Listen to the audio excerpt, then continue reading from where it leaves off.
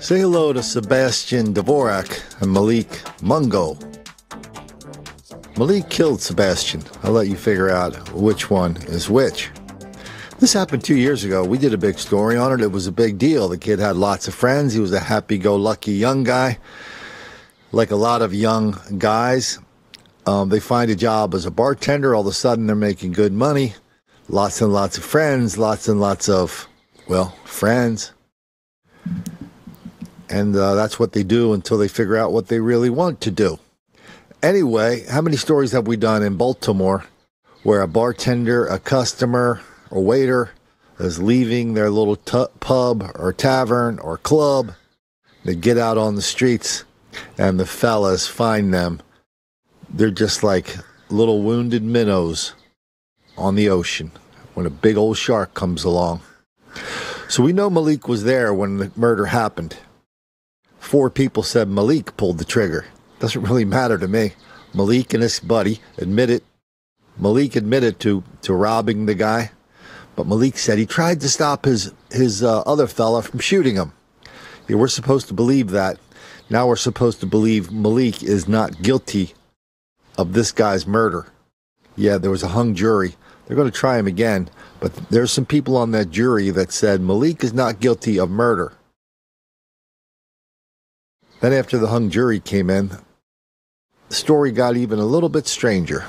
The trial for the man charged with killing a bartender in Canton two years ago has ended with a mistrial on the most serious charges. Sebastian Dvorak had just celebrated his 27th birthday when he was shot and killed. WMAR 2 News' Mark Roper is live at the Baltimore County Courthouse, where the suspect in this case, Malik Mungo, was on trial for more than two weeks. And Mark, the jury did find him guilty on several charges, but not murder.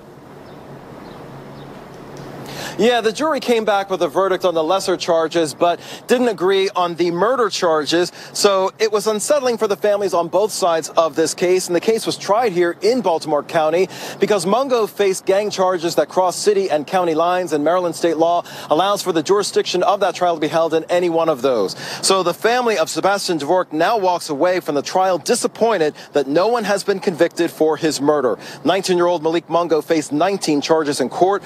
Mungo testified he wasn't the one who robbed and shot Dvorak two years ago, that it was someone else he only knew by a nickname. And the jury couldn't agree on whether to believe his testimony, and so there was no verdict on the first and second degree murder charges, as well as the robbery and gang charges. Mungo was found not guilty on three counts of burglary, and the only charges the jury found Mungo guilty of are related to possessing a firearm and possession of a fake substance masquerading as a drug. And my son, Sebastian Dvorak, who I'm so proud of, um, was walking home from his birthday and was viciously attacked by two people for a wallet with no money, a switch, and a phone.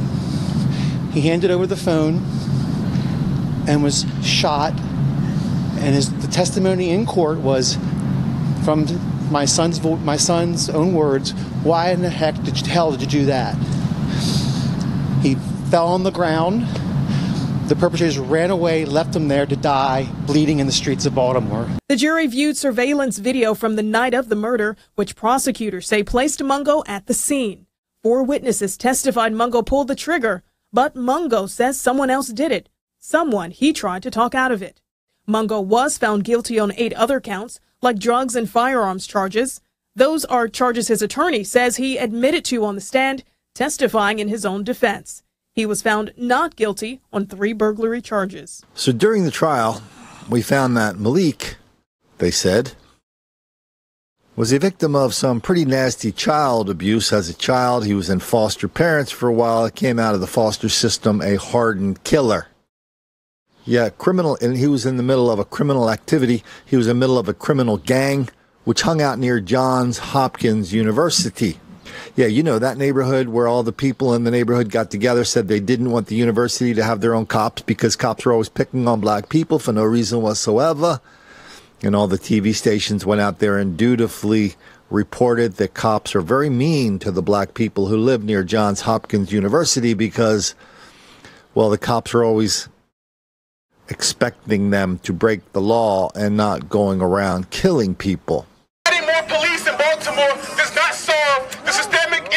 That that have plagued our communities for decades here. More than 100 protesters. Real power is in the streets, real power is in occupation, real power is in what we're seeing right now. Voiced their opposition to a private armed police force at Johns Hopkins University. More police officers, more guns around our community isn't actually going to stop crime, certainly not going to stop violent crime. For some, the issue is fear of being racially profiled. For me and for every other black student at Hopkins and for every single black community member, I want them to come home at night. I don't want them to be terrorized by a police officer. Laura Laughlin is a guidance counselor at Excel Academy, an alternative school in West Baltimore, who is also against the idea. I'm a white lady, but I work with black young men and being in, you know, just being themselves on the street every day uh, can get stopped by police. And more often than not, the fellas out there are disappointing the cops.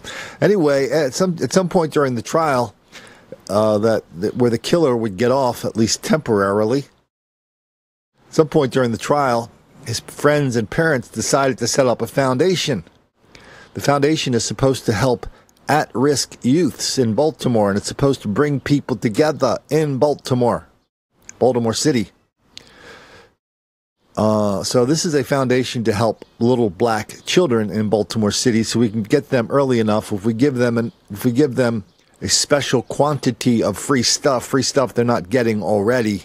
Okay, this is going to come perilously close to blaming going around killing twenty-seven-year-old white kids with so lots Sebastian of friends and nice parents. Please, he had lots of friends who really oh, loved him. More. He loved them. He also loved something called the city of Baltimore. He loved this dream he had of Baltimore, of, of old houses, charming places where young white kids could walk the streets and go to nice clubs and have a lot of fun and you know say hello to the fellows once in a while. He was down with the cause, and the cause was down with him, wasn't it? Well, no, it wasn't. And Sebastian paid a price for his fantasy vision of Baltimore as a clean, charming, safe place, when all the rest of us know it's a nasty, dirty, dark, and dangerous place where white lives are cheap.